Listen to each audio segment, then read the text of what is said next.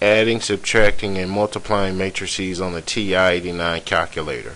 For this video and videos similar to these, visit the website www.titutor.com. In this video, we'll add, subtract, and multiply the following matrices.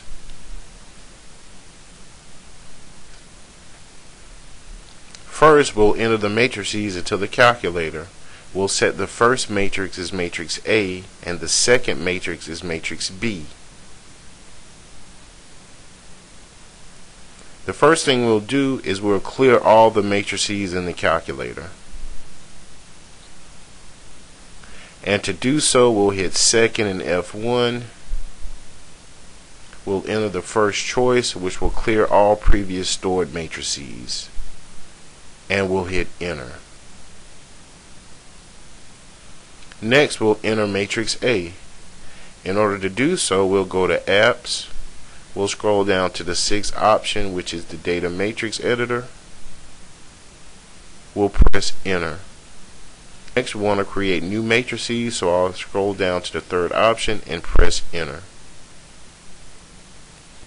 Next, we'll change our type to matrix, so I'll use the right arrow. I'll scroll down to matrix and I'll press enter. Next we'll give the variable a name.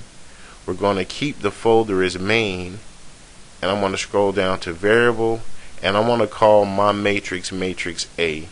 I'm going to use alpha and I'm going to find A and I'll press enter. And I'll also enter in two columns and I'll press enter. Now we'll enter the elements of our matrix. Negative 5, 4, negative 5, and 8. And I'll repeat the above steps to enter matrix B. I'll go back into apps. I'll scroll down to data matrix editor. I'm going to create a new matrix. I'm going to change my type to matrix. I'm going to keep my folder as main. I want to name this matrix B. So I'm going to hit alpha, call this B. It has two rows, two columns, and I'll enter the elements of the matrix. 6, negative 7, negative 5, and negative 3.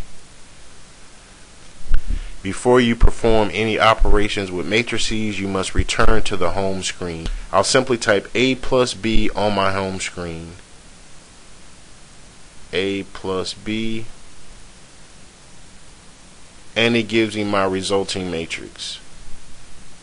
I can also subtract matrix A and B by simply by simply typing in A minus B on the home screen.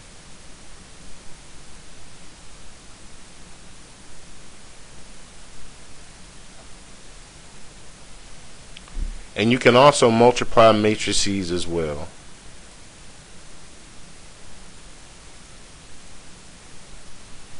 And that concludes this video. Thanks for watching.